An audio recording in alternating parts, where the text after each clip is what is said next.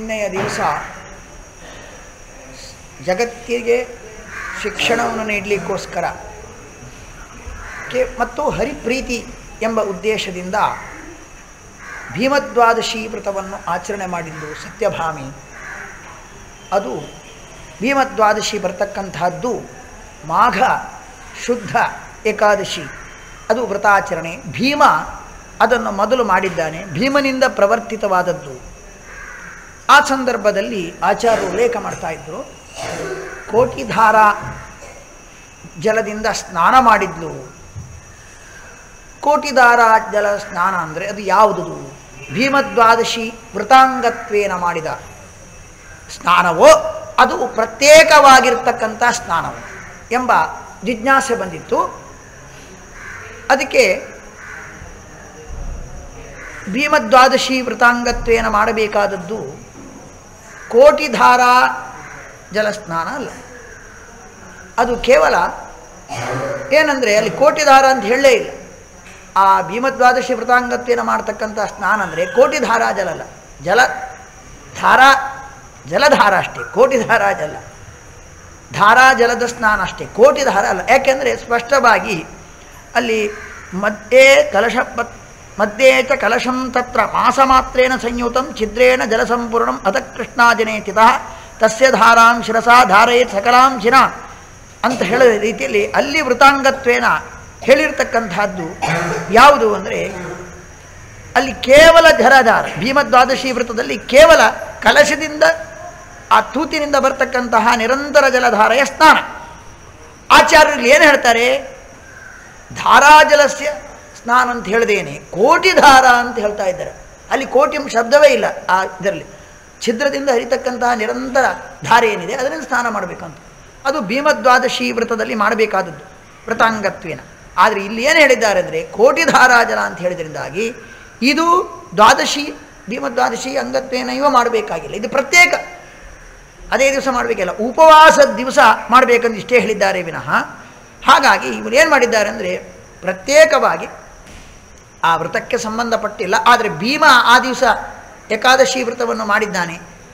ಅದಕ್ಕೋಸ್ಕರವೇ ತಾನೂ ಕೂಡ ಆ ದಿವಸ ಆ ಕೋಟಿಧಾರಾ ಜಲದಿಂದ ಸ್ನಾನ ಮಾಡಿದ್ದಾರೆ. ಅದು ಗೋ ಶೃಂಗದ ತುದಿಯಿಂದ ಹರಿದು ಬಂದಂತಹ ನೀರಿನ ಧಾರೆಯಿಂದ ಸ್ನಾನ ಮಾಡೋದು ಕೋಟಿ ಅಂದರೆ ಗೋವಿನ ಶೃಂಗದ ತುದಿ ಭಾಗ.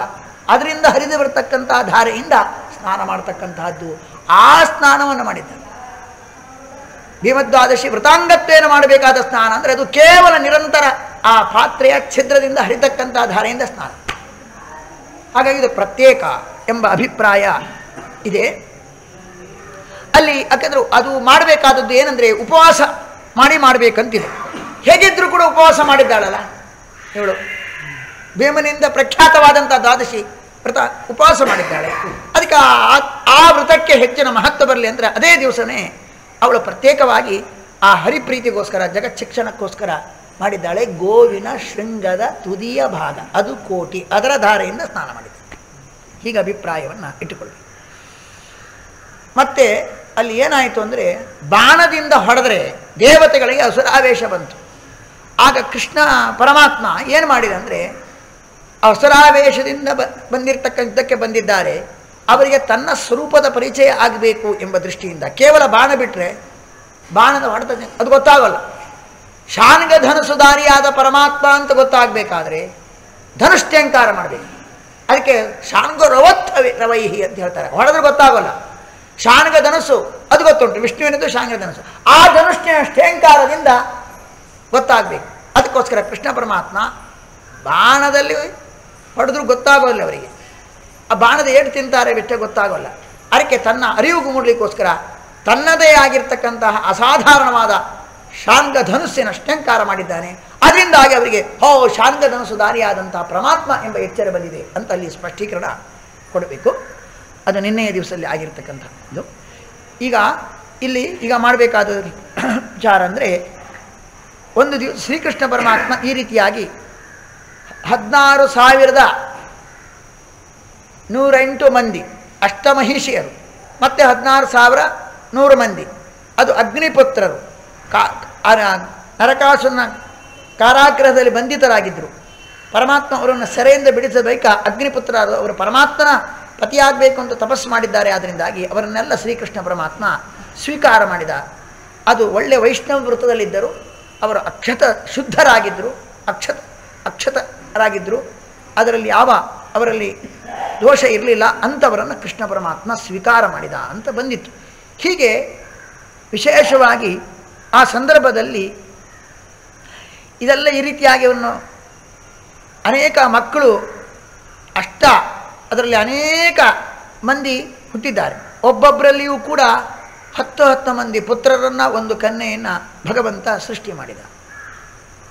ಪ್ರಕೃತಿ ವಿಭೂಷಯ ಎಂಬ ಮಾತಿಗೆ ಪ್ರಕೃತಿಯ ವೈಚಿತ್ರ್ಯ ಏನು. ವಿವಿಧ ಪ್ರಕೃತಿಯ ವೈಚಿತ್ರ್ಯವನ್ನು ಸೃಷ್ಟಿ ಮಾಡಿಬೋದು ಒಂದು. ನೋಡಿ, ವಿಚಿತ್ರ ಇದು. ಒಂದೇ ತಂದೆಯಲ್ಲಿ ಹುಟ್ಟಿದ್ದಾರೆ. ಆದರೆ ಒಬ್ಬರಿದ್ದಾಗ ಒಬ್ಬರು ವಾಯಿಸಿಲ್ಲ. ಅದು ಎಷ್ಟು? ಎಷ್ಟು ಜನ ಇದು ಎಷ್ಟಾಗ್ತಾರೆ? ಒಂದು ಸಾವಿರದ ಒಂದು ಲಕ್ಷದ ಒಂದು ಲಕ್ಷದಷ್ಟು ಎಪ್ಪತ್ತ, ಎಪ್ಪತ್ತೈದು ಸಾವಿರ ಜನರು. ಅದರಲ್ಲಿ ಒಬ್ಬರಿದ್ದಾಗ ಒಬ್ಬರು ಇರೋಲ್ಲ. ಹಾಗಾದ್ರೆ ಅದು ಸ್ವರ ವ್ಯತ್ಯಾಸ, ಮುಖದಲ್ಲಿ ಚರ್ಯ ವ್ಯತ್ಯಾಸ, ಈ ವೈಚಿತ್ರ್ಯ ಎಲ್ಲ ಬಂತು ಹೇಗಿದು? ತನ್ನಿಂದ ನಿಯಂತ್ರಿತವಾದ ಪ್ರಕೃತಿಯ ವಿವಿಧ ಭಾವವನ್ನು ತೋರಿಸ್ಲಿಕ್ಕೋಸ್ಕರ ಕೃಷ್ಣ ಹಾಗೆ ಮಾಡಿದ ಅಂತ ಎಲ್ಲಿದೆ? ತೃತೀಯ ಸ್ಕಂದದಲ್ಲಿದೆ. ಅದು ಎಲ್ಲೋ ಇದೆ. ಯಾಕೆ ಮಾಡಿದ? ಯಾಕೆ ಮಾಡಿದ? ಅಂದರೆ ಪ್ರಕೃತಿಯ ಒಬ್ಬ ತಂದೆಯಿಂದ ಎಷ್ಟಿದ್ರು ಕೂಡ ಆ ಪ್ರಕೃತಿಯಲ್ಲಿ ಎಷ್ಟು ವೈಚಿತ್ರ್ಯ ಇದೆ ನೋಡಿ. ಒಬ್ಬರು ಸ್ವಭಾವ ಇದ್ದಾಗ ಒಬ್ಬರು ಇರುವುದಿಲ್ಲ ಆ ಪ್ರಕೃತಿಯ ವೈಚಿತ್ರ್ಯವನ್ನು ತೋರಿಸಬೇಕು ಎಂಬ ದೃಷ್ಟಿಯಿಂದ ಕೃಷ್ಣ ಈ ರೀತಿಯಾಗಿ ತಾನು ಸೃಷ್ಟಿ ಮಾಡಿದ ಎಂಬ ಮಾತನ್ನು ಹೇಳ್ತಾ ಇದ್ದಾರೆ ಮತ್ತೆಲ್ಲರೂ ಕೂಡ ಹರಿಭಕ್ತಿ ಬರಬೇಕು ಎಂಬ ಅನೇಕ ದೇವತೆಗಳು ಇಲ್ಲಿ ಅವತಾರ ಮಾಡಿದ್ದಾರೆ. ಅವರಿಗೆ ಭಕ್ತಿ ಜಾಗೃತವಾಗಬೇಕು ಎಂಬ ದೃಷ್ಟಿ. ಅದರ ನಂತರ ಏನಾಯಿತು ಅಂತ ಹೇಳಿದ್ರೆ, ಈ ಈ ಪಟ್ಟಣದಲ್ಲೇ ಇರುವ ಸಂದರ್ಭದಲ್ಲಿ ಏನಾಯಿತು ಅಂತ ಹೇಳಿದ್ರೆ ಒಂದು ಸರ್ತಿ ಪ್ರದ್ಯುಮ್ನ ಸಾಂಬನ ಜೊತೆಗೆ ಇಬ್ಬರೂ ಕೂಡ ಮೂಲತಃ ಕಾಮನ ಅವತಾರ. ಪ್ರದ್ಯುಮ್ನ ಅದು ಹೇಗಿದ್ರು ಗೊತ್ತುಂಟು, ಕಾಮನ ಅವತಾರ. ಸಾಂಬ ಸಾಂ, ಇದು, ಯಾರ ಅವತಾರ? ಷಣ್ಮುಖನ ಅವತಾರ. ಅಂದರೆ ಮೂಲತಃ ಎಲ್ಲರೂ ಪತ್ಮ ಕಾಮನ ಸ್ವರೂಪರು. ಇಬ್ಬರೂ ಕೂಡ ಆ ನಾಗ, ನಾಗಲೋಕಕ್ಕೆ ಹೋಗಿದ್ದಾರಂತೆ. ಸಾರ್ಧಂ ಅಂದ್ರೆ ಎರಡರ್ಥ. ಅವರ ಜೊತೆಗೆ ಸೇರಿಕೊಂಡು ಅಂತ. ಸಾಕಂ ಅಂತ ಹೇಳಲಿಲ್ಲ ಸಾರ್ಧಂ ಅಂತ ಹೇಳಿದ್ದಾರೆ. ಅದಕ್ಕೊಂದು ಅರ್ಥ ಇದೆ. ಆ ಭುಜೇಂದ್ರ ಲೋಕ, ಆ ಸ್ವ ಆ ನಾಗಲೋಕ ಹೇಗಿತ್ತು ಅಂದರೆ ಸಾರ್ಧವಾಗಿತ್ತು. ಸಾರ್ಧವಾಗಿತ್ತು ಅನ್ನೋದಕ್ಕೆ ಒಂದು ಹೊಸ ವಿಶಿಷ್ಟವಾದ ಅರ್ಥ. ಏನದು? ವಿಶಿಷ್ಟ ಅರ್ಥ ಏನು ಅಂದರೆ, ಇಷ್ಟೇ, ಆ ವೃದ್ಧಂ ಪಿತುರರ್ಧಮೇಯಾಯ. ವೃದ್ಧ ಎಂಬ ಶಬ್ದಕ್ಕೆ ಮಂದಿರ ಅಂತ ಅರ್ಥ ಇದೆ. ವೃದ್ಧ ಎಂಬ ಶಬ್ದಕ್ಕೆ ಮಂದಿರ ಅಂತ ಅರ್ಥ. ಆಸಮಂತಾದ ವೃದ್ಧಾನಿ, ಅರ್ಧಾನಿ. ಅಂದರೆ ದಿವ್ಯ ಮಂದಿರದಿಂದ ಕೂಡಿದ್ದು. ಪಿತುರರ್ಧಮೇಯಾಯ ಎಂಬಲ್ಲಿ, ಅಲ್ಲಿ ಅರ್ಧ ಅರ್ಧ ಅಂದರೆ ಏನು? ದಿವ್ಯ ಮಂದಿರ. ಮಂದಿರದಿಂದ, ದಿವ್ಯ ಮಂದಿರದಿಂದ ಕೂಡಿದ್ದು. ಅರ್ಧೈಹಿ ಸಹಿತಂ ಅರ್ಧಸಹಿತ ಸಾರ್ಧ. ಅಂದರೆ ದಿವ್ಯ ಮಂದಿರದಿಂದ ಕೂಡಿರ್ತಕ್ಕಂತಹ ಆ ಯಾವ ನಾಗೇಂದ್ರ ಲೋಕಕ್ಕೆ ಹೋಗಿದ್ದಾರೆ. ಅಲ್ಲಿ ಏನಾಯಿತು ಅಂದರೆ ಅವ್ರಿಗೆ ಗೊತ್ತಿಲ್ಲ. ಇವರು ಕೃಷ್ಣನ ಮಗ ಅಂತ ಗೊತ್ತಿಲ್ಲ. ಕೃಷ್ಣನ ಮಗ ಅಂತ ಗೊತ್ತಿಲ್ಲದೆ ಇರೋದ್ರಿಂದ ಎಲ್ಲ ಸರ್ಪಗಳು ಕೂಡ ಯುದ್ಧಕ್ಕೆ ಬಂದಿದ್ದಾವೆ. ಆವಾಗ ಅವರೆಲ್ಲ ಸರ್ಪಗಳನ್ನು ಕೂಡ ಗೆದ್ದಿದ್ದಾರೆ. ಸರ್ಪವನ್ನು ಗೆದ್ದ ನಂತರ ವಾಸುಕಿಯನ್ನು ಕೂಡ ಬಾಣದಿಂದ ಏಟುಕೊಟ್ಟು ಓಡಿಸಿಬಿಟ್ಟಿದ್ದಾರೆ. ಅಲ್ಲಿ ಕೊನೆಗೆ ಏನು ಅವರಿಗೆಲ್ಲ ಗೌರವ ಬುದ್ಧಿ ಬಂದಿದೆ. ಅದಾದ ನಂತರ ರತ್ನ ಸಂಜಯಾನ ಸಮಾಧದೆ ನೇಮರಮಂ ತತಸ್ತೆ. ಎಲ್ಲ ರತ್ನಗಳನ್ನೆಲ್ಲ ಸಂಗ್ರಹ ಮಾಡಿ ತಗೊಂಡು ಬಂದಿದ್ದಾರೆ. ಆಗ ಇವರ ಮಹಿಮೆ ಗೊತ್ತಾದ ನಂತರ ಅವರು ಏನು ಮಾಡಿದ್ರು? ಆ ಸರ್ಪಗಳೆಲ್ಲ ನಮಸ್ಕಾರ ಮಾಡಿದರು. ಅದ ನಂತರ ಸಾಂಬನ ಜೊತೆಗೆ ಸೇರಿಕೊಂಡು ಸತ್ಕೃತನಾದಂಥ ಸೀದಾ ಅಲ್ಲಿ ಒಬ್ಬ ಸಿಕ್ಕಿದ. ಯಾಕೆಂದರೆ ಪಾತಾಳದಲ್ಲಿ ಅಸುರರು ಇರತಕ್ಕಂಥದ್ದು. ಮಾಯಾವಿಯಾಗಿರ್ತಕ್ಕಂಥ ಮಯಾಸುರ ಅವನು ಎದುರಿಸಿದ್ದಾರೆ.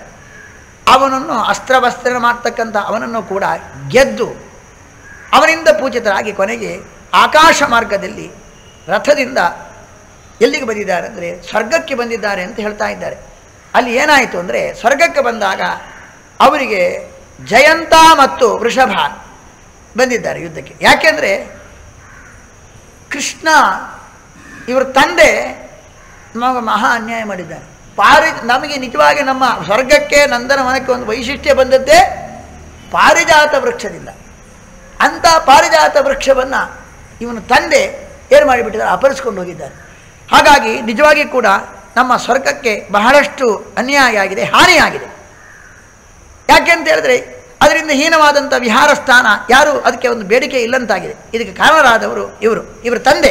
ಹಾಗಾಗಿ ಇವರಿಗೆ ಬುದ್ಧಿ ಕಲಿಸಬೇಕು ಅಂತ ಕೋಪದಿಂದ ಪಾರಿಜಾತ ಅಪಹಾರ ಮಾಡಿದಂತಹ ಕೃಷ್ಣನ ಮಕ್ಕಳನ್ನು ನೋಡಿ ಹೇಗಾದರೂ ಹೇಗೆ ತೀರಿಸ್ಕೊಳ್ಬೇಕು ಅಂತ, ಆ ಪರಾಭವಕ್ಕೆ ಪ್ರತಿಯಾಗಿ ಏನಾದರೂ ತೋರಿಸ್ಬೇಕು ಅಂತ ಅವರು ಯುದ್ಧಕ್ಕೆ ಬಂದಿದ್ದಾರೆ. ಆದರೆ ಏನಾಯಿತು ಅಂತ ಹೇಳಿದ್ರೆ, ಮೊದಲು ಜಯಂತನನ್ನು ಗೆದ್ದಿದ್ದಾನೆ. ಸ್ಪರ್ಧಾ, ಸಂಸ್ಪರ್ಧೆಯ ಆಯಾತ ಮಂಶಜಾನಜ ಕೊನೆಗೆ, ಅವನು ಸೋತ. ನಾನು ನಿಜವಾಗಿ ಕೂಡ ತಂದೆ ಜೊತೆಗೆ ಸೋತಿದ್ದೇನೆ, ಹೌದು. ಆದರೆ ಈ ಮಕ್ಕಳನ್ನು ಗೆದ್ದಾದರೂ ಕೂಡ ಆ ಪಾರಿಜಾತ ವೃಕ್ಷವನ್ನು ನಾನು ಪಡಿಬೇಕು ಎಂಬಂಥ ಒಂದು ಸ್ಪರ್ಧೆ.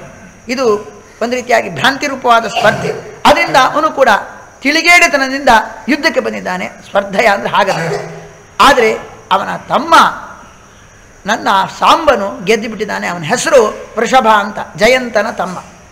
ಹೀಗೆ ಅವರ ಅಸ್ತ್ರಗಳನ್ನು ಅಸ್ತ್ರದಿಂದ ಅದನ್ನು ಪ್ರತಿರೋಧಿಸಿ ಪ್ರತಿರೋಧಿಸಿದ್ದಾರೆ ಆದರೆ ಏನಾಯಿತು? ಅವರಿಬ್ಬರು ಒಟ್ಟಿಗೆ ಸೇರಿಕೊಂಡು ಈ ಸಾಂಬನ ರಥವನ್ನು, ಸಾಂಬ ಅವರು ಯಾರು ಯಾವ ರಥವನ್ನು ಏರಿ ಬಂದಿದ್ದಾರೋ ಆ ರಥವನ್ನೆಲ್ಲ ಸುಟ್ಟು ಭಸ್ಮ ಮಾಡಿದರು. ಅಸ್ತ್ರ ಪ್ರಭಾವದಿಂದ ಜಯಂತ ಮತ್ತು ವೃಷಭ, ಇಂದ್ರನ ಮಕ್ಕಳು. ಆವಾಗ ಅವರು ಏನು ಮಾಡಿದರು ಅಂದರೆ ಕಡೆಗೆ ಅವರ ರಥವೇ ಇಲ್ಲ. ಆದರೂ ಕೂಡ ಬಾಣದಿಂದ ಅವರಿಬ್ಬರನ್ನ ಜಯಂತ ವೃಷಭನನ್ನು ಓಡಿಸಿ, ಓಡಿಸಿದರು. ದೇವೇಂದ್ರನಿಂದ, ಗೊತ್ತಾದ ನಂತರ ದೇವೇಂದ್ರನಿಂದ ಸತ್ಕೃತರಾಗ್ತಾರೆ. ಆದರೆ ರಥ ಇಲ್ಲ. ಹೇಗೆ ದ್ವಾರಕ್ಕೆ ಬರಬೇಕು? ಮೊದಲು ರಥದಿಂದ ಬಂದಿದ್ದಾರೆ. ಈಗ ರಥ ಇಲ್ಲ. ಆದರೆ ಏನು ಮಾಡಿದ್ರು? ರಥದ ಸಹಾಯ ಇಲ್ಲದೇನೆ ಅವರು ವಿದ್ಯಾಬಲದಿಂದಲೇ ಆ ಸ್ವರ್ಗದಿಂದ ದ್ವಾರಕೆಗೆ ಬಂದರು. ಹೌದು, ಆ ಶಂಬರಾಂಶನ ವರ್ಷದಲ್ಲಿರುವಾಗ ಅವರು ಹೇಗೆ ಬಂದರು ದ್ವಾರಕೆಗೆ? ಹೇಗೆ ಬಂದರು? ವಿದ್ಯೆಯಿಂದ. ಅದು ಯಾವ ವಿದ್ಯಾ ಅಂತ ಹೇಳಿದ್ರೆ, ಅವಳು ಕೊಟ್ಟಿರ್ತಕ್ಕಂಥ ರತಿ. ಮಾಯಾವತಿಯಾಗಿರುವಾಗ ರತಿದೇವಿ ಕೊಟ್ಟಿರ್ತಕ್ಕಂಥದ್ದು ಪರಶುರಾಮ ದೇವರನ್ನು, ಪರಶುರಾಮ ದೇವತೆಗಾಗಿರ್ತಕ್ಕಂಥ ಅಸ್ತ್ರವಿದ್ಯೆ. ಅದು, ಅದನ್ನು, ಏನು? ಅಸ್ತ್ರವಿದ್ಯಾ. ಆ ಅಸ್ತ್ರವಿದ್ಯೆಯನ್ನು ಕೊಟ್ಟಿದ್ದಾಳೆ ರತಿ ಆದ್ದರಿಂದಾಗಿ ಆ ರತಿ ಕೊಟ್ಟಿರ್ತಕ್ಕಂಥ ಅಸ್ತ್ರವಿದ್ಯೆಯನ್ನು ಉಪ- ಉಪದೇಶವನ್ನು ಪಡೆದಿದ್ದಾನೆ ಯಾರು? ಆ ಯಾವ ಪ್ರದ್ಯುಮ್ನ. ಆದಿಂದಾಗಿ ಆ ಅದರ ಬಲದಿಂದ ಸಾಂಬರನ್ನು ಹೊತ್ತುಕೊಂಡು ಸೀದಾ ಅವನು ಎಲ್ಲಿ ಬಂದಿದ್ದಾರೆ ಅಂದರೆ ದ್ವಾರಕಾಪುರಕ್ಕೆ ಬಂದಿದ್ದಾನೆ. ಅಲ್ಲಿ ನಾರದರು ಯಯೋ ತಥೋ ನಾರದು ಆಗಮದೃತಂ ಜ್ಞಾತಂ. ಆಗ ನಾರದರಿಗೆ ಬಹಳ ಯಾವುದೋ ಒಂದು ವಿಶೇಷವಾಗಿ ಕೃಷ್ಣನ ಹದಿನಾರು ಸಾವಿರ ನೂರು ಮಂದಿಯನ್ನು ಮದುವೆಯಾಗಿದ್ದ. ಅವನು ಹೇಗೆ ನಿಭಾಯಿಸ್ತಾನೆ? ಬಹುಬಾರಿಯಾಸುವ ವೃತ್ತಿ. ಅನೇಕ ಯಾಕಂದ್ರೆ ಲಕ್ಷಾಂತರ ಪತ್ ಅಲ್ಲ, ಲಕ್ಷಾಂತರ ಅಲ್ಲ. ಸಾವಿರಾರು ಮಂದಿ ಪತ್ನಿಯರಿದ್ದಾರೆ. ಸಾವಿರಾರು ಮಂದಿ ಪತ್ನಿಯರಲ್ಲಿ ಇವನ ವ್ಯವಹಾರ ಹೇಗಿದೆ? ಅದನ್ನು ನೋಡಬೇಕು ಅಂತ ಕುತೂಹಲದಿಂದ ಧೃತಂ ಜ್ಞಾತು. ಅಷ್ಟು ಅದು ಒಂದು ಅವರಿಗೆ ಒಂದು ಕುತೂಹಲ. ಆ ಕುತೂಹಲದಿಂದ ಬಂದಿದ್ದಾರೆ ಎಂಬುದಾಗಿ ಹೇಳ್ತಾ ಇದ್ದಾರೆ. ಅಲ್ಲಿ ಆಗ ಏನಾಯಿತು ಅಂದರೆ ಅವರ ಆಶ್ಚರ್ಯ ಕಾದಿತ್ತಂತೆ. ಯಾಕೆಂದರೆ ಹದಿನಾರು ಸಾವಿರ ನೂರು ಮಂದಿ ಮನೆಗಳಲ್ಲಿಯೂ ಕೂಡ ಪ್ರತ್ಯೇಕ ಪ್ರತ್ಯೇಕ ಅವರಿಗೆ ಮನೆ ಮಾಡಿ ಕೊಟ್ಟು ಕೊಟ್ಟಿದ್ದಾನೆ. ಅದು ಒಳ್ಳೆ ಉಪ್ಪರಿಗೆ ಮನೆ ದಿವ್ಯವಾದಂಥ ಮನೆ, ಅಲ್ಲಿ ಪ್ರತಿಯೊಂದು ಮನೆಯಲ್ಲಿಯೂ ಕೂಡ ಕೃಷ್ಣ ಒಂದಲ್ಲ ಒಂದು ರೂಪದಿಂದ ವಿಹಾರ ಮಾಡ್ತಾ ಇದ್ದಾನೆ. ಒಂದು ಕಡೆಯಲ್ಲಿ ಮಗನಿಗೆ ಉಪನಯನ ಮಾಡ್ತಾ ಇದ್ದಾನೆ, ಇನ್ನೊಂದು ಕಡೆಯಲ್ಲಿ ಸಂಧ್ಯಾವಂದನೆ ಹೇಳಿಕೊಡ್ತಾ ಇದ್ದಾನೆ, ಮತ್ತೊಂದು ಕಡೆಯಲ್ಲಿ ನಾಮಕರಣ ಮಾಡ್ತಾ ಇದ್ದಾನೆ, ಒಂದು ಕಡೆಯಲ್ಲಿ ಹೆಂಡತಿ ಜೊತೆಗೆ ಆ ಪಗಡೆ ದ್ಯೂ ದ್ಯೂ, ದ್ಯೂತ ಆಟ ಆಡ್ತಾ ಇದ್ದಾನೆ, ಇನ್ನೊಂದು ಕಡೆಯಲ್ಲಿ ಬೇಟೆ ಆಡಲಿಕ್ಕೆ ಹೋಗ್ತಾ ಇದ್ದಾನೆ, ಒಂದು ಕಡೆಯಲ್ಲಿ ಬ್ರಾಹ್ಮಣರನ್ನ ಆ ಪಾದಪೂಜೆ ಮಾಡ್ತಾ ಇದ್ದಾನೆ ಇನ್ನೊಂದು ಕಡೆಯಲ್ಲಿ ತಾನು ಅನೇಕ ಮಾಡ್ತಾ ಇದ್ದಾನೆ. ಹೀಗೆ ಒಂದು ಕಡೆಯಲ್ಲಿ ಊಟ ಮಾಡ್ತಾ ಇದ್ದಾನೆ. ನಾನಾ ಥರದಲ್ಲಿ ಒಂದೊಂದು ಮನೆಯಲ್ಲಿ ಒಬ್ಬೊಬ್ಬ ಪತ್ನಿಯರಿಂದ ನಾನಾ ರೂಪ ತೊಟ್ಟು ಒಂದೊಂದು ವ್ಯವಹಾರವನ್ನು ಮಾಡ್ತಾ ಇದ್ದಾರೆ. ಅದನ್ನು ನೋಡಿ ಸುವಿಸ್ಮಿತ. ಸಾಕಷ್ಟು ಅವರಿಗೆ ಆಶ್ಚರ್ಯ ಅಚಿಂತ್ಯದ್ಭುತವಾದಂತಹ ದರ್ಶನ ಆಗಿದೆಯಲ್ವಾ ಯಾವ ಗೃಹಸ್ಥರು ಈ ರೀತಿಯಾಗಿ ಮಾಡುವುದಿಲ್ಲ. ಒಬ್ಬರಿಬ್ಬರನ್ನು ಕಟ್ಕೊಂಡೇ ಬಹಳ ಕಷ್ಟ ಆಗಿಬಿಡುತ್ತೆ. ಇವನು ಇಷ್ಟು ಮಂದಿ ಕಟ್ಕೊಂಡು ವೈಭವದಿಂದ ಇದು ವ್ಯವಹಾರ ಮಾಡ್ತಾ ಇದ್ದಾನಲ್ಲ. ಅದಕ್ಕೆ ಅದಕ್ಕೆ ಹೇಳ್ತಾರ, ಅದು ತಾಸಾಂ ಗ್ರಹತ್ನ ಉಪೈತಿ ಆಕೃತಿವಿಹಿ ಅವರ ಮನೆಯಿಂದ ಅವನು ಕದಲ್ತಾ ಇರಲಿಲ್ಲಂತೆ. ಅದು ಪ್ರಥಮ ಸ್ಕಂದ ಹೇಳ್ತಾ ಇದೆ, ಆ ಭಾಗವತ. ಎಂದೂ ಕೂಡ ಅವರ ಮನೆಯಿಂದ ಕದರ್ತಾ ಇಲ್ಲ, ಅನೇಕ ರೂಪದೊಟ್ಟು ಇದ್ದ ಅಂತ ಹೇಳ್ತಾ ಇದ್ದಾರೆ. ಈ ರೀತಿಯಾಗಿ ಪರಮಾತ್ಮನ ವಿಶ್ವರೂಪವನ್ನು, ಬಹುರೂಪವನ್ನು ಅದರಿಂದ ವ್ಯವಹಾರ ಮಾಡ್ತಕ್ಕಂಥದ್ದು ನೋಡಿ, ಬಹಳ ಆಶ್ಚರ್ಯಚಕಿತರಾಗಿ ನಮಸ್ಕಾರ ಮಾಡಿ ಕೃಷ್ಣನಿಗೆ ಅವರು ಹೊರಟು ಬಿಟ್ಟರು ಶಕ್ರಪ್ರಸ್ಥಂ ಪೂಜಿತ ಚಾತಪಾತೈ ಅಂದರೆ ಪೂಜಿತರಾಗಿ ಮತ್ತೆ ಅಲ್ಲಿ ಇಂದ್ರಪ್ರಸ್ಥಕ್ಕೆ ಹೋಗಿದ್ದಾರೆ ಮತ್ತು ಪುನಃ. ಯಾಕೆಂದರೆ ಇಲ್ಲಿ, ಅಲ್ಲ, ಅವರು ಇಂದ್ರಪ್ರಸ್ಥಕ್ಕೆ ಹೋದರು. ಯಾರೋ ನಾರದರು. ಇಂದ್ರಪ್ರಸ್ಥದಲ್ಲಿ ಒಂದು ವಿಚಾರವನ್ನು ಹೇಳಬೇಕಿತ್ತಲ್ಲಿ ಅದು ಯಾಕಪ್ಪ, ಕೃಷ್ಣನ ದ್ವಾರಕೆಗೆ ಬಂದ ನಂತರ ಇಂದ್ರಪ್ರಸ್ಥಕ್ಕೆ ಹೋಗುವ ಕೆಲಸ ಏನಿತ್ತಂದರೆ ಬ್ರಹ್ಮದೇವರು ಒಂದು ಹೇಳಿ ಕಳಿಸಿದ್ರು. ಆ ಬ್ರಹ್ಮದೇವರ ಸಂದೇಶವನ್ನು ಪಾಂಡವರಿಗೆ ಮುಟ್ಸ್ಲಿಕ್ಕೋಸ್ಕರವೇ ಅವರು ಬಂದಿದ್ರು. ಅವ್ರು ಏನು ಹೇಳ್ತಾ ಇದ್ದಾರೆ ಅಂದರೆ ಬ್ರಹ್ಮದೇವರು ಹೇಳಿದರು. ಅವರ ಉದ್ದೇಶ ಏನಿತ್ತಂದರೆ ಈಗ ನೀವೊಂದು ಕೆಲಸ ಮಾಡಿ.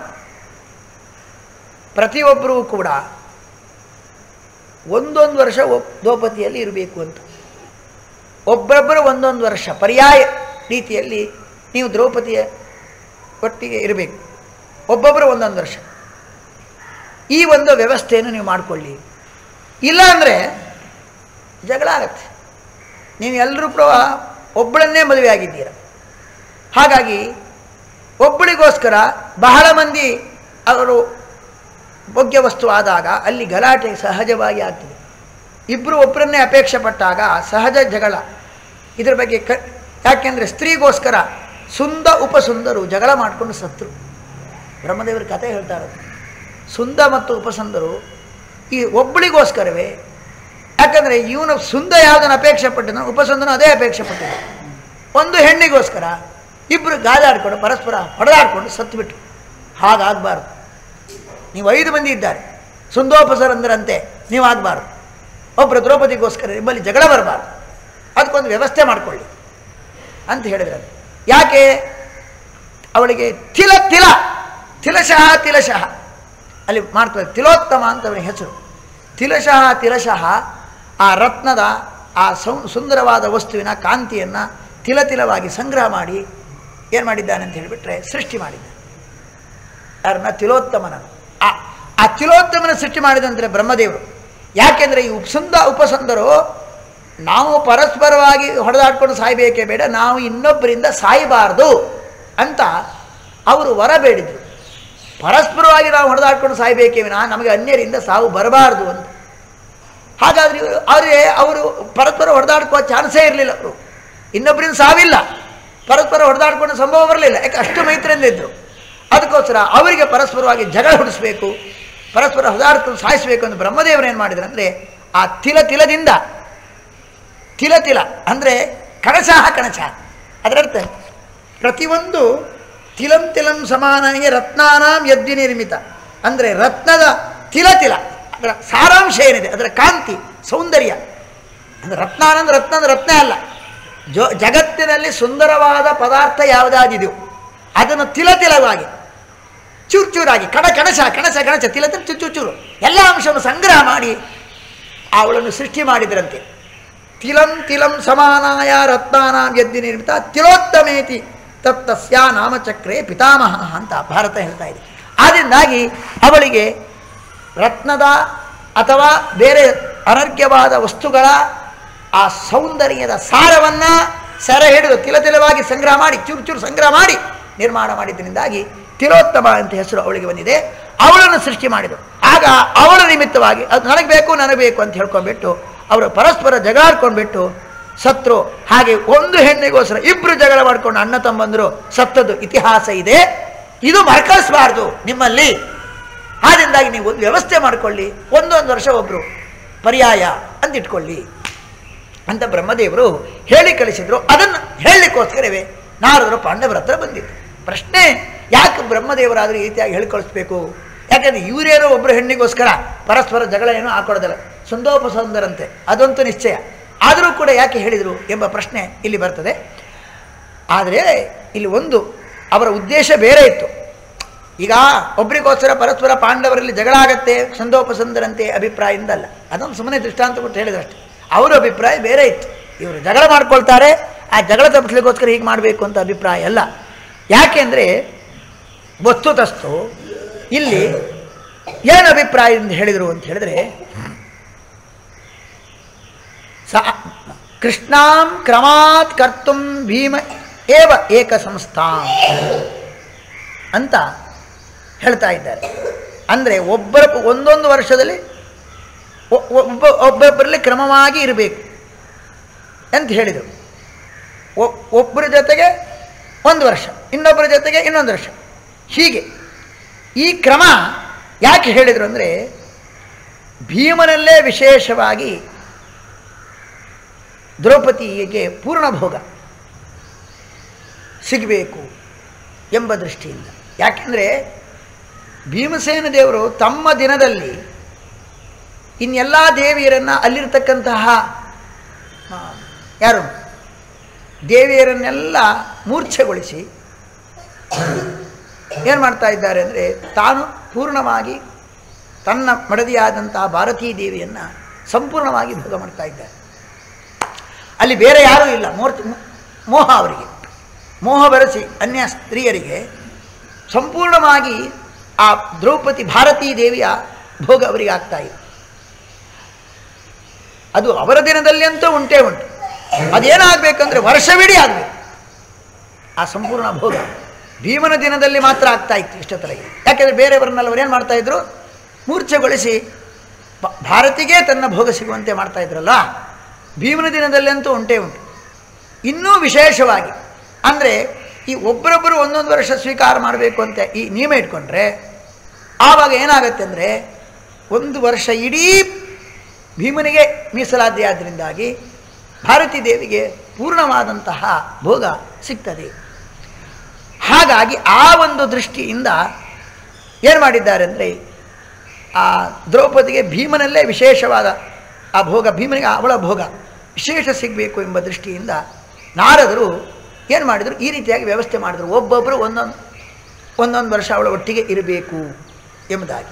ಇದರಿಂದಾಗಿ ವರ್ಷ, ಒಂದು ವರ್ಷ ಇಡೀ ಭೀಮನಿಗೆ ಪರಿಪೂರ್ಣ ಭೋಗ. ಈಗಲೂ ಭೀಮನ ಇದ್ದ ದಿವಸದಲ್ಲಿ ಮಾತ್ರ ದ್ರೌಪದಿಗೆ ಪರಿಪೂರ್ಣ, ಭಾರತಿಗೆ ಪರಿಪೂರ್ಣ ಭೋಗ ಇತ್ತು. ಈಗ ಹಾಗಲ್ಲ.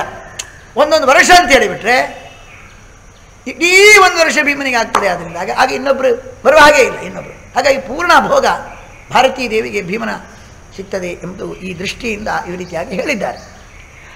ಆವಾಗ ಅದನ್ನು ಒಪ್ಪಿಕೊಂಡು ಅದೇ ರೀತಿಯಾಗಿ ಆ ಒಂದು ವ್ಯವಸ್ಥೆಯನ್ನು ಮಾಡಿಕೊಂಡಿದ್ರು ಅವರು. ಒಂದು ಸರ್ತಿ ಏನಾಯಿತು ಅಂದರೆ ಯಾರು ಒಂದು ವೇಳೆ ಇನ್ನೊಬ್ಬರ ವರ್ಷದಲ್ಲಿ ದ್ರೌಪದಿ ಜೊತೆಗೆ ಒಬ್ಬರು ಇನ್ನೊಬ್ಬರು ಇರ್ತಾರೆ. ಅದು ಒಂದು ಆ ವರ್ಷವಿಡೀ ಇನ್ನೊಬ್ಬರ ಜೊತೆಗೆ ಇರಬೇಕಾದಂತಹ ದ್ರೌಪದಿ ಆ ದ್ರೌಪದಿಯನ್ನು ಇನ್ನೊಬ್ಬರು ನೋಡಿದರೆ ಆ ಸಂದರ್ಭದಲ್ಲಿ ಅವರು ಒಂದು ವರ್ಷ ತನಕ ತೀರ್ಥಯಾತ್ರೆ ಮಾಡಬೇಕು. ಅಕಸ್ಮಾತ್ ಮಾಡಿದರು. ಯಾಕಂದರೆ ಅವರು ಅವರ ವರ್ಷ ಅಲ್ಲ, ಇನ್ನೊಬ್ಬರ ವರ್ಷ. ಅವರು ದ್ರೌಪದಿ ಜೊತೆಗಿದ್ದಾರೆ ಇನ್ನೊಬ್ಬರು ಇವನು ನೋಡಿದೆ, ಬೇರೆಯವರು. ಯಾರು ನೋಡ್ತಾನೋ ಅವನು ಒಂದು ವರ್ಷ ತೀರ್ಥಯಾತ್ರೆ ಮಾಡಬೇಕು ಅಂತ ಹೀಗೆ ವ್ಯವಸ್ಥೆ ಮಾಡಿಕೊಂಡಿದ್ರು ಅವರು, ನಿಯಮವನ್ನು. ತತಕ್ಕದಾತಿ ಧರ್ಮರಾಜು ಏನಾಯಿತು? ಒಂದು ಸತಿ ಏನಾಯಿತು ಅಂದರೆ ಕೇಳಿ. ಭಗವ ದೈವ ಸಂಕಲ್ಪ. ಒಂದು ಸರ್ತಿ ಏನಾಯಿತು? ಧರ್ಮರಾಜನ ಜೊತೆಗೆ ದ್ರೌಪದಿ ಇದ್ದಾಳೆ. ಅಂದರೆ ಆ, ಅದು ಆ ಸಮಯ ಅವನ ಒಂದು ವರ್ಷ ಪಿರಿಯಡ್ ಅದು ಧರ್ಮರಾಜನ ಪಿರಿಯಡಿನಲ್ಲಿ ಏನಾಯಿತು ಅಂದರೆ ಅಕಸ್ಮಾತ್ತಾಗಿ ಶಸ್ತ್ರಾಗಾರಕ್ಕೆ ಹೋಗಬೇಕಾಯ್ತು ರಾತ್ರಿಯಲ್ಲಿ. ಕಾರಣ ಏನಂದರೆ ಯಾರೋ ಒಬ್ಬ ಬ್ರಾಹ್ಮಣನ ಹಸುವನ್ನು ಕಳ್ಳರು ಅಪರಿಸ್ಕೊಂಡು ಹೋಗಿದ್ರು. ಅದನ್ನು ರಕ್ಷಣೆ ಮಾಡಲಿಕ್ಕೋಸ್ಕರ ಅವನಿಗೆ ಏನು ಬೇಕಾಗಿತ್ತು? ಬೇಕಾಗಿತ್ತು. ಬಿಲ್ಲು. ಬಿಲ್ಲು ಬಾಣ. ಅದನ್ನು ತಗೊಳ್ಲಿಕ್ಕೋಸ್ಕರ ಹೋಗಿದ್ದಾನೆ ಆ ಶಸ್ತ್ರಾಗಾರಕ್ಕೆ. ಆಗ ದ್ರೌಪದಿ ಜೊತೆಗೆ ಧರ್ಮರಾಜ ಇದ್ದ. ಆವಾಗ ನೋಡಿಬಿಟ್ಟು ನೋಡಿದ ತಕ್ಷಣವೇನೆ ಏನು ಮಾಡಿದ? ಶಸ್ತ್ರದಿಂದ ಆ ಕಳ್ಳರನ್ನೆಲ್ಲ ನಾಶ ಮಾಡಿ ಆ ಬ್ರಾಹ್ಮಣನಿಗೆ ಹಸುವನ್ನು ಕೊಟ್ಟು ಕೊನೆಗೆ ನೋಡಿದ್ರಿಂದಾಗಿ ಅರ್ಜುನ ತೀರ್ಥಯಾತ್ರೆಗೆ ಸನ್ನದ್ಧನಾದ. ಅದ್ರಾ ಅಲ್ಲಿ ಹೇಳ್ತಾರೆ, ಪಾಠ ಹೇಗಿದೆ ಅಂದರೆ ಅಲ್ಲಿ ಅದ್ರಾಕ್ಷೀತ್ ಅಂತ ಆಗತ್ತೆ. ಅದ್ರಾಕ್ ಅಂತ ಅಕ್ಷರ ಲೋಪ ಮಾಡಿದ್ದಾರೆ. ಆ ನೋಡಿದಿಂದ ಆಗ್ತಕ್ಕಂಥ ದೋಷ ಅವನಿಗೆ ಲೋಪ ಆಗ್ತದೆ. ಲೋ, ದೇಶ, ದೋಷದ ಲೇಪ ಇಲ್ಲ. ಅದರ ಲೋಪ. ವಸ್ತುತ ನೋಡಿದಿಂದ ಏನಾಗುತ್ತೆ? ದೋಷ ಬರುತ್ತಲ್ವಾ? ಇನ್ನೊಬ್ಬರು ನೋಡಿದರೆ ದೋಷ ಬರುತ್ತಲ್ಲ. ಆ ದೋಷದ ಲೇಪ ಲೋಪ ಆಗಿದೆ. ಇಲ್ವೇ ಇಲ್ಲ. ಅಂತ ತೋರಿಸ್ಲಿಕ್ಕೆ ಅದ್ರಾಕ್ ವಸ್ತು ಅದ್ರಾಕ್ಷೀತ್ ಅಂತ ಆಗಬೇಕು. ಅದ್ರಾಕ್ಷೀತ್ ಅಂತ ಆಗೋಗೋದ್ರೆ ಅದ್ರಾಕ್ ಅಂತ ಅಕ್ಷರ ಲೋಪ ಆಗಿಬಿಟ್ಟಿದೆ. ಅಕ್ಷರ ಲೋಪದಿಂದ ಅವನಿಗೆ ದೋಷದ ಲೋಪ, ಖಂಡಿತರಿಂದ ದೋಷ ಲೋಪ ಆಗಿದೆ ಎಂಬುದನ್ನು ಸೂಚನೆ ಮಾಡಲಿಕ್ಕೋಸ್ಕರ. ದೋಷದ ಲೇಪ ಇಲ್ಲ. ಅದು ಲೋಪ. ಅಂತ ಅಕ್ಷರ ಲೋಪ ಮಾಡಿ ಆಚಾರ್ಯರು ಹೇಳ್ತಾ ಇದ್ದಾರೆ. ಅದ್ರಾಕ್ ಅಂತ. ಆಗ ಇದಿಷ್ಟರ ಮೊದಲಾದವರು ಹೇಳ್ತಾರೆ, ತಮ್ಮಂದಿರು, ಅಣ್ಣಂದಿರು ಇವು ಹೋಗಬೇಡಪ್ಪ, ಅವನ ಮೇಲೆ ಸ್ನೇಹದಿಂದ. ಯಾಕೆಂದರೆ ತೀರ್ಥಯಾತ್ರೆ ಮಾಡೋದು ಬಹಳ ಕಷ್ಟ. ಆ ಅದ್ಭುತ ನಿಯಮಗಳು. ಏನು? ನೋಡಿ ಅಂತ ನಾವು ನಿನಗೆ ಶಿಕ್ಷೆ ಕೊಡಬೇಕು, ಅಲ್ವಾ? ನಮ್ಮನ್ನು ನಾವು ಇರುವಾಗ ನೀ ಯಾಕೆ ನೋಡಿ? ನೀನು ತೀರ್ಥಯಾತ್ರೆ ಮಾಡೋದು ನಾವು ಹೇಳಬೇಕು. ಅವ್ರು ಹೇಳಲಿಲ್ಲ. ತಮ್ಮನಿಗೆ ಭೀಮಾರ್ಜುನ ಯಾರೂ ಹೇಳಿ ಹೋಗಬೇಡ ನೀನು ಅಂತ ಸೌಹಾರ್ದದಿಂದ ಹೇಳಿದರೂ ಕೂಡ ಸತ್ಯಾರ್ಥಂ ಕೊಟ್ಟ ಮಾತಿಗೆ ಸತ್ಯ, ಶಪಥವನ್ನು ಪಾಲನೆ ಮಾಡಬೇಕು. ಸತ್ಯಾರ್ಥ ಅಂದರೆ ಏನರ್ಥ?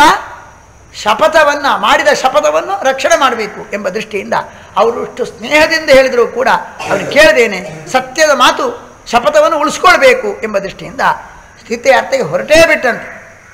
ಹೊರಟಾಗ ಏನಾಯಿತು ಅಂದರೆ ಅವನು ದ್ಯುನದ್ಯಾಂ ಕುರುವನು ಸ್ನಾನಂ ಮಾಯೆಯ ನಾಗಬದ್ಧ ಹೃತೋ ಲೋಕಂ ಭುಜಗಾನಾಂ ಕ್ಷಣೇನ. ಆವಾಗ ಒಬ್ಬಳು ನಾಗವಧು, ಅವಳು ಏನು ಇವನು ಸ್ನಾನ ಮಾಡ್ತಾ ಇದ್ದ. ಸ್ನಾನ ಮಾಡೋ ಸಂದರ್ಭದಲ್ಲಿ ತನ್ನ ಮಾಯಾದಿಂದ ತನ್ನ ಲೋಕಕ್ಕೆ ಕರ್ಕೊಂಡೋಗಿ ಬಿಟ್ಲಂತೆ. ಒಂದು ಕ್ಷಣ ಮಾತ್ರದಲ್ಲಿ ಅರ್ಜುನನನ್ನು. ನಾಗವಧು ಬೇರೆ ಯಾರಲ್ಲ. ಅದು ನಾಗವಧು ಅಂತ ಹೇಳಿದ, ನೋಡಿ. ಆ ವಧು ಶಬ್ದದಿಂದ ಒಂದು ವಿಶೇಷ ಅರ್ಥ ಸೂಚನೆ ಮಾಡ್ತದೆ. ಅದು ಏನು ಸೂಚನೆ ಅಂದರೆ, ಅವಳಿಗೆ ನರಾಕಾರ ರೂಪವೂ ಇದೆ. ಬೇಕಾದ್ರೆ ಅವರು ಕಾಮರೂಪಿಗಳು. ಇಚ್ಛಾನುಸಾರವಾಗಿ ಯಾವ ರೂಪನ್ನಾದರೂ ತೊಡ್ತಾರೆ. ಹಾಗಾಗಿ ನಾಗ ವಧು ಎಂಬ ಶಬ್ದಕ್ಕೆ ವಧು ಶಬ್ದ ಹಾಕುವ ಮೂಲಕ, ಅದು ವಧು ಅಂತ ಯಾವಾಗಲೂ ಹೇಳೋದು ಮನುಷ್ಯ, ಸ್ತ್ರೀಯರನ್ನು ವಧು ಅಂತ ಹೇಳ್ತಾರೆ. ಇಲ್ಲಿ ವಧು ಅಂತ ಹೇಳಿದ್ರಿಂದಾಗಿ ಏನರ್ಥ? ಆ ರೂಪವು ಮನುಷ್ಯಾಕಾರ ಸುಂದರ ರೂಪವು ಅವರಿಗೆ ಇರುತ್ತೆ ಎಂಬುದನ್ನು ಇಲ್ಲಿ ನಾವು ತಿಳ್ಕೊಳ್ಬೇಕಾದದ್ದು. ಅವಳು ಯಾಕೆ ಕರ್ಕೊಂಡ್ರೋದ್ಲು ಅಂದರೆ, ಕೇಳಿ. ಅವಳು ಗಂಡ, ಉಲೂಪಿ ಅವಳು. ಉಲೂಪಿ ಉರುಭ್ಯ ಆಪ್ಯಾಯತಿ. ತನ್ನ ತನ್ನ ವಿಶೇಷವಾದಂತಹ ತೊಡೆಯಿಂದ ಸಂತೋಷ ಪಡ್ತಾ ಇದ್ಲು ಅಂತ. ಅಂದರೆ ಸುಂದರ ರೂಪ ಆಗಿದ್ಲು. ಅವಳ ಗಂಡನನ್ನು ಗರುಡ ಸಾಯಿಸಿಬಿಟ್ಟ. ಸಾಯಿಸಿದಾಗ ಗಂಡವನ್ನು ಕಳ್ಕೊಂಡ್ಬಿಟ್ಟಿದ್ಲು. ಯಾಕೆಂದರೆ ಗರುಡನ ಆಹಾರ ಸರ್ಪ ತಾನೆ. ಸರ್ಪ ಗರುಡನಿಂದ ಹತನಾಗಿದ್ದ. ಗಂಡನನ್ನು ಕಳ್ಕೊಂಡಿದ್ದಾಳೆ ಉಲುಪಿಕ ಉಲುಪಿ. ಅದಕ್ಕೋಸ್ಕರ ತಂದೆ ಹತ್ರ ಕರ್ಕೊಂಡು ಹೋದ್ಲು. ಅರ್ಜುನನ್ನ. ತಂದೆ ಹೇಳ್ತಾನೆ, ನೋಡಪ್ಪ ಇವಳಿಗೆ ಪುತ್ರನನ್ನು ಕರುಣಿಸು, ಅನುಗ್ರಹ ಮಾಡು ಅಂತ ತಂದೆ ಬೇಡ್ಕೊಂಡ್ಬಿಟ್ಟಂತೆ. ಆವಾಗ ಏನಾಯ್ತು? ಸಂವತ್ಸರ ಬ್ರಹ್ಮಚರ್ಯೇತು ಪಾರ್ಥೆ ಕೃಷ್ಣ ಹೇತು ಸಮಯ ಸಾಧುಬದ್ಧಂ. ವಸ್ತುತಸ್ತು ಇವನು ಸಾಂವತ್ಸರಿಕ ಬ್ರಹ್ಮಚರ್ಯದಲ್ಲಿ ಇರಬೇಕು. ಇದರ ಮಧ್ಯದಲ್ಲೇ ಏನಾಯಿತು ಅಂತ ಹೇಳಿಬಿಟ್ರೆ, ಆ, ಈ ಕೃಷ್ಣ ಹೇತೋ ಸಮಯ ಸಾಧುಬದ್ಧಂ. ನಿಜವಾಗಿ ಕೂಡ ಬಹಳ ಕಷ್ಟ ಇದು. ಯಾಕೆಂದರೆ ದ್ರೌಪದಿಯನ್ನು ಯಾರು ನೋಡ್ತಾರೋ ಆ ಒಂದು ವರ್ಷದ ತನಕ ಆ ತೀರ್ಥಯಾತ್ರೆ ಮಾಡಿ ಬ್ರಹ್ಮಚರ್ಯ ವ್ರತದಲ್ಲಿ ಇರಬೇಕು ಎಂಬುದಿದೆ ತಾನೇ. ಸಂವತ್ಸರಂ ಬ್ರಹ್ಮಚರ್ಯೇತು ಪಾರ್ಥೈ ಕೃಷ್ಣ ಹೇತೋ ಸಮಯೇ ಸಾಧುಬದ್ಧಂ. ಬ್ರಹ್ಮಚರ್ಯದಲ್ಲಿ ಇರಬೇಕು. ತೀರ್ಥಯಾತ್ರೆ ಮಾಡ್ತಾ ಬ್ರಹ್ಮಚರ್ಯದಲ್ಲಿ ಇರಬೇಕು. ಆದರೆ ಇವನೇನು ಮಾಡಿದ? ಬ್ರಹ್ಮಚರ್ಯ ಈ ಪಿರಿಯಡಿನಲ್ಲೇನೆ ಅವಳು ಬೇಡ್ಕೊಂಡಿದ್ದಾಳೆ. ಆ ತಂದೆಯೂ ಬೇಡ್ಕೊಂಡಿದ್ದಾನೆ ಇವನಿಗೆ ಪುತ್ರ ಸಂತಾನ ಅನುಗ್ರಹಿಸುವಂಥ ಮತ್ತೆ ಮತ್ತೆ ಬೇಡ್ಕೊಂಡಿದ್ದಾರೆ ಆವಾಗ